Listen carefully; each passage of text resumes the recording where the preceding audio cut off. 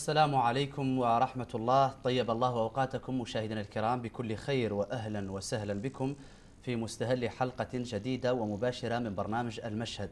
هذا المساء نسلط أضواء النقاش فيه والتقييم والتحليل على مشروع قانوني قانون مقدم للبرلمان الموريتاني هو مشروع قانون الرقابة على الإنترنت.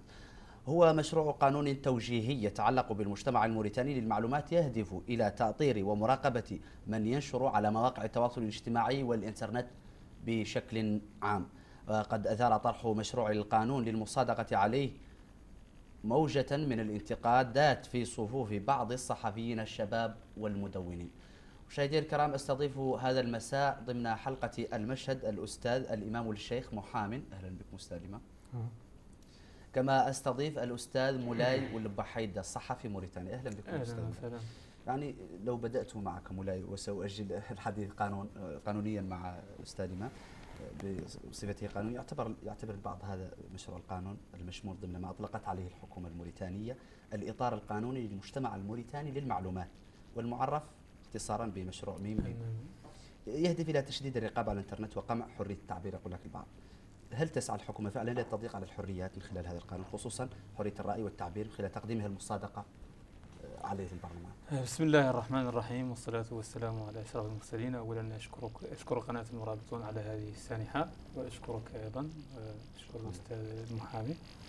في الحقيقة أنا أخشى كمقدمة أن يكون هذا القانون بوابة خلفية للعمل على مضايقة هذا الفضاء آه الذي وجد فيه الموريتانيون متنفسا وجد فيه الموريتانيون ضالتهم بمجال التغريد والإدراج ومجال الحرية وممارسة حرياتهم وممارسة إبداعاتهم وتجاوزهم لكل العراقيل والأعراف التقليدية التي كانت تتحكم في مسار حياتهم اليومية. حتى الآن لا تزال تتحكم في مسار المواقع الإلكترونية وفي الصحف حتى الصحف العريقة وغيرها لا تزال مدونات لا تزال أيضا تتحكم فيها هذه الكلاليب أو هذه العراقيل المجتمعية. ولذلك وجد المجتمع الموريتاني ضالته في هذا الوافد الجديد والحديث الذي في الحقيقة أنتج ثورة علمية ثقافية تكنولوجية كان الوطن بحاجة بحاجة ماسة لها في الوقت الذي لا أقف في وجه أن يكون هناك إطار قانوني إطار قانوني معين لأن لكل الدول الحق في حماية منظومة منظومتها أو أمنها أو إلى غير ذلك لكن ليس على يجب أن لا يكون على حساب حرية الأفراد أو على حساب الكبت من هذا هذا التوجه البلاد في مجال حرية الصحافة وحرية تداول المعلومة وتدفقها كذلك.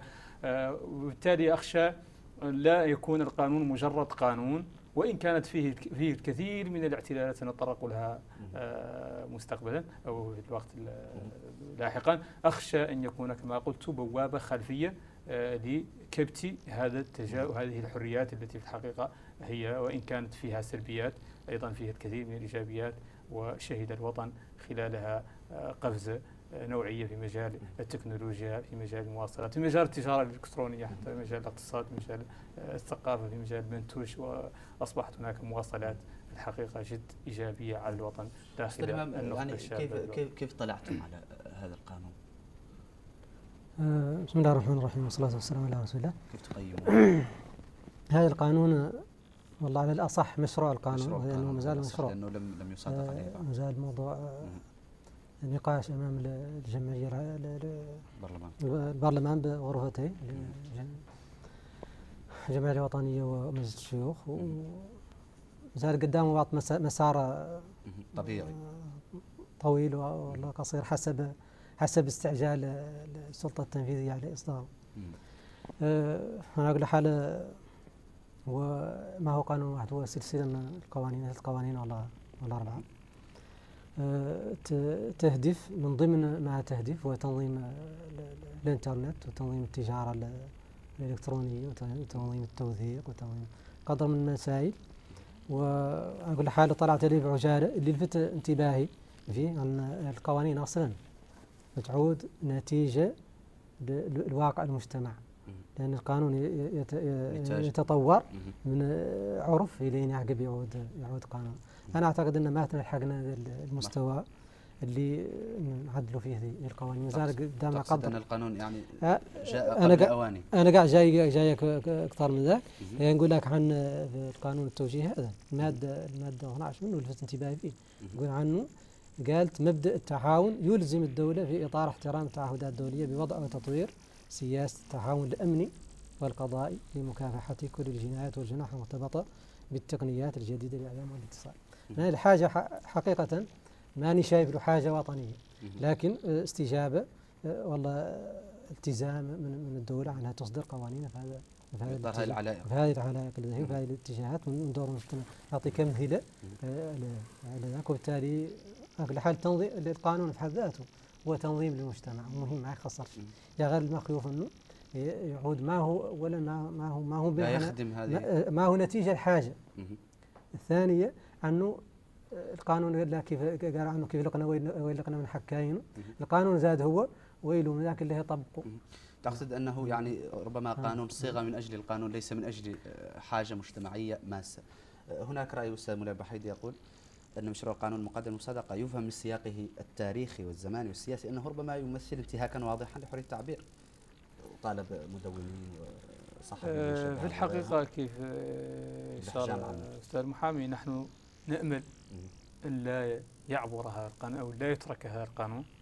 آه، بصيغته الحالية التي هي معروضة أمام الحكومة أمامنا وأن يعني على الأقل بصيغته الحالية يعني بالصيغة ال- ماذا تنتقدون بالمش... عليه؟ الآن مم. هذا المشروع فيه فيه بعض المواد في الحقيقة آه، فضفاضة مم. صح التعبير آه، تنص على آه، قضايا عامة أو كأمن الدولة وأمن الأشخاص آه، وأمن ال- ال- انتحال صفة آه، رئيس الجمهورية أو شخصية معنوية أو غير ذلك أمور في الحقيقة مواد في الحقيقة لا يمكن أبدا أن يفهم منها إلا أن هناك أيادي تريد العبث بأمن وحرية المواطنين والمدونين وأنا لست ضد هنا أن يكون هناك كما قلت سابقا قانون.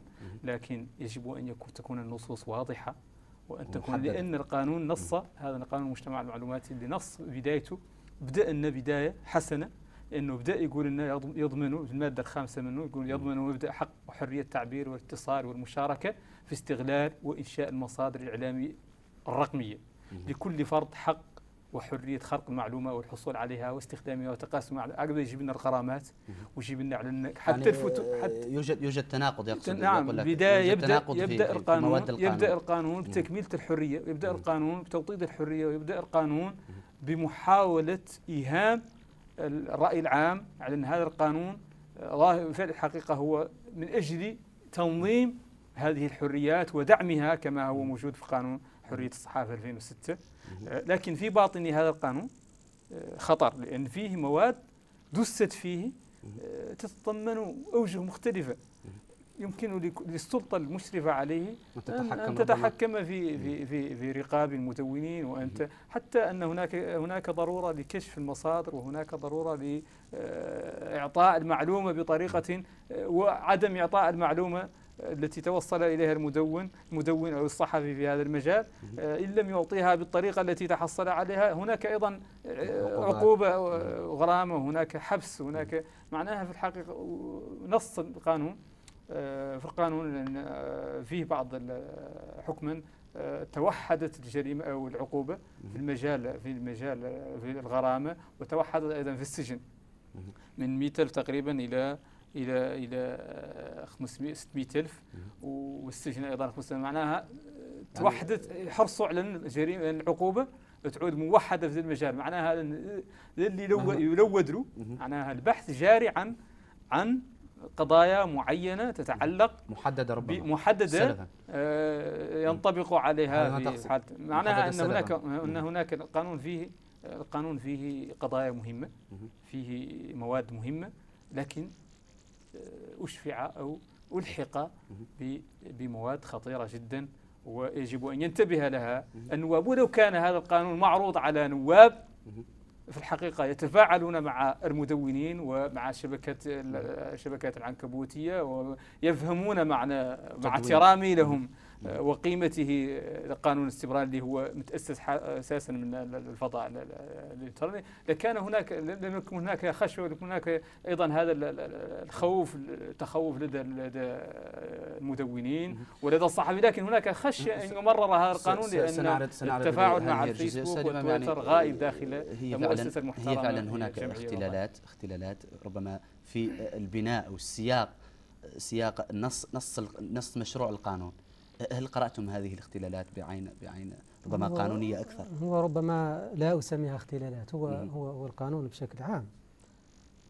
آه، كيف قال؟ يهدف لتنظيم ذا المجال له وحماية الأفراد وحماية المؤسسات وحماية الممتلكات وحماية لا غير الإشكالية في, في الانتقائية في التطبيق. الأشخاص العاديين إلى كل حد انتهك أعراضهم في, في الإنترنت. ما ليش ما السلطة ما ليش أخبارهم؟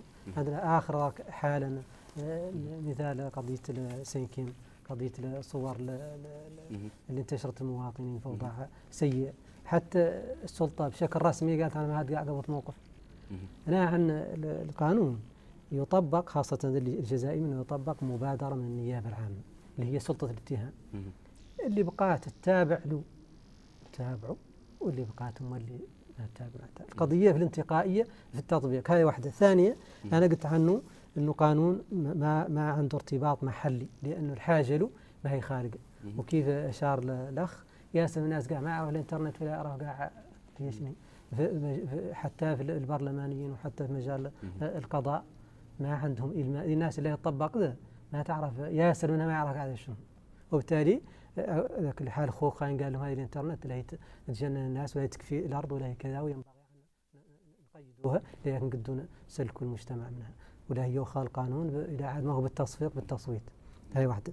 الثانية كي قلت لك عنه هو يلبي حاجة دولية. وتخرص المادة المادة 22 يعني آه منه تقول تقول نقول فيه عقاب تقريبا لمن ينفي حصول الهولوكوست مادة 22 من تقول لا كل من ينفي عن قصد أو يثبت أو يبرر أعمالا تمثل إبادة أو جرائم ضد الإنسانية بواسطة نظام معلوماتية أو منظومة نقدية يعاقب بالحبس آه، من ستة أشهر إلى كذا. معناها هذه المادة مستوردة. ما عندنا ما آه، معناها أنه تقريبا آه، لا تعني بالضرورة المجتمع لا تعني بالضروره المجتمع ثانيا الظرفية اللي اللي اللي خلقت فيها هذه القانون المتابعة ظرفية جديدة صفحة الإنترنت والفضاء له ومع سلبياته عنده إيجابيات كبيرة خاصة في التأثير على السلطات وتنظيم الانظمه تغيير الأنظمة والثورات اللي اللي حدثت. وبالتالي مديور آه، أداة يجمع قاعدة بيانات أكبر ربما. إليك أستاذ مولاي ألا يعتبر هذا القانون من يعني في إطار واضح؟ يراقب ويؤطر ما يكتب على الشبكة وفق مزاج السلطة الحاكمة. يقول لك البعض على هذا هذا طبعا كلام مدونين. وفق الحاكمة يقول لك البعض ووفقا ووفق تقديرها للأخلاق الفضيلة وهذا كلام من هذا. وهو تعبير صارخ ربما عن خوفها من نشاط المدونين ومستخدمي مواقع التواصل الاجتماعي والصحفيين حتى على الشبكة. علما أن هذه الشبكات ومواقع التواصل كانت وعاء لما بات يعرف بالثورات الثورات العربية. أه شوف. أنتم كمدونين وكشباب وكربما محجمين عن هذا المشروع القانون أه شوف كيف تنص قلت لك في البداية أني أخشى أن يكون بوابة لتضييق بوابة خلفية. معناها على أن إحنا عندنا الرئيس تعهد بأن لا تراجع في مستوى الحريات.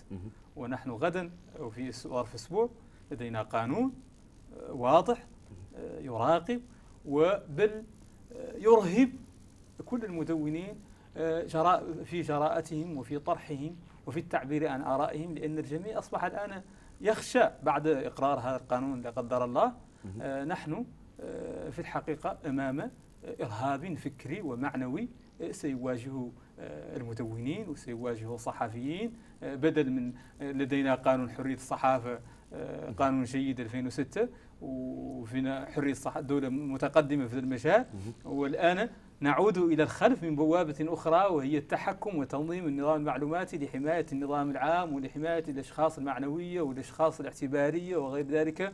أمور فضفاضة داخل التحول إلى قانون إلى أخطر أهم فضاء للحريات وهو الفضاء الإلكتروني.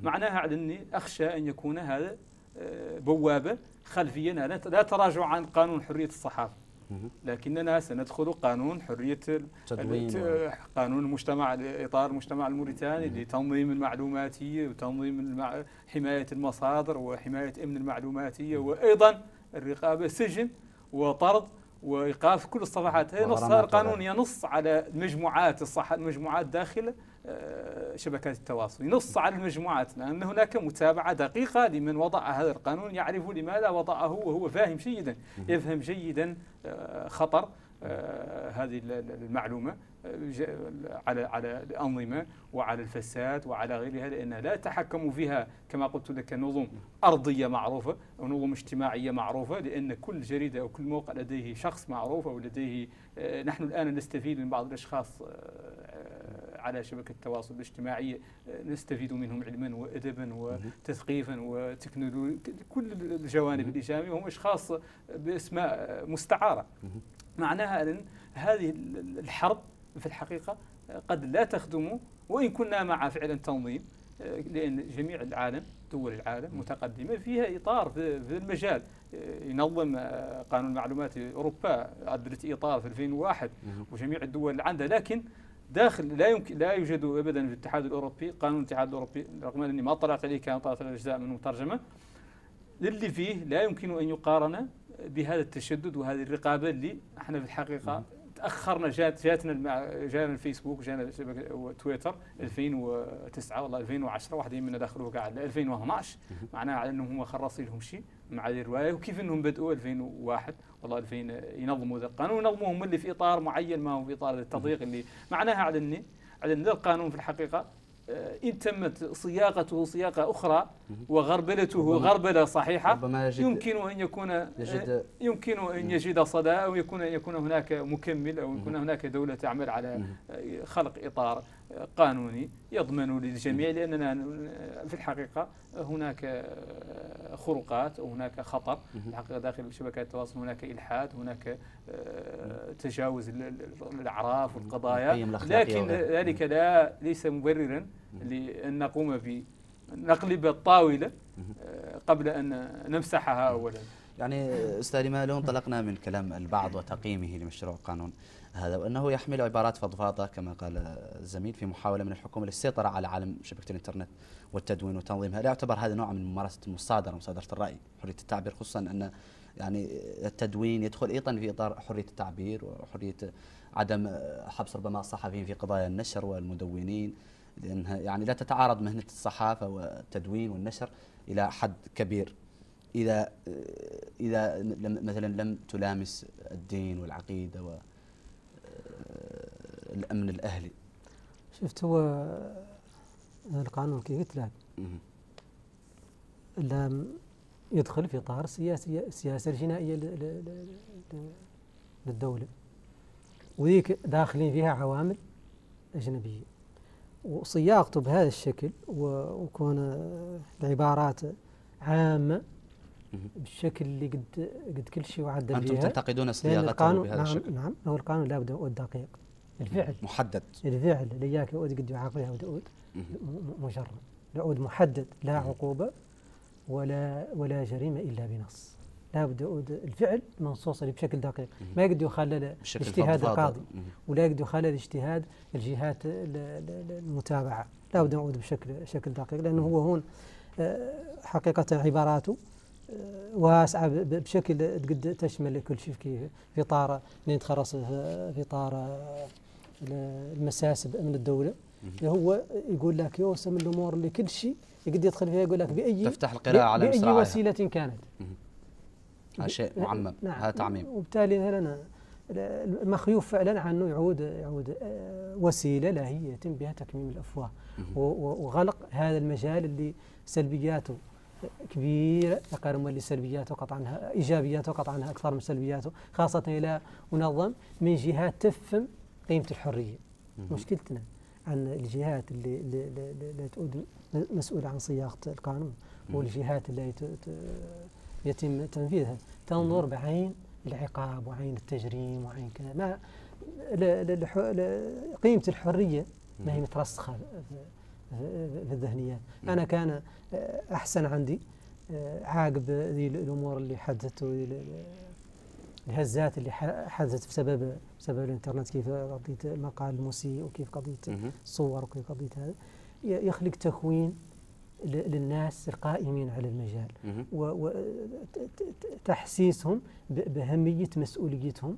وكون وكونهم ما يعود أي روايه ينشروها ما فاتوا الثبت منها وشوفوا قاع اللي مدري كانها نشرها قاع كانوا أكثر فايته ولا أكثر سلبيه معناها التكوين وجعل الناس المسؤوليات أحسن من قبل سنعود لهذه الجزئيات. مشاهدينا الكرام ما زلنا معكم ضمن هذه الحلقة التي تناقش إطار مشروع قانون مجتمع المعلومات الموريتاني استضيف معي هذا المساء الإمام والشيخ محام والأستاذ مولاي والبحيدة الصحفي. ابقوا معنا نلقاكم بعد هذا الفاصل.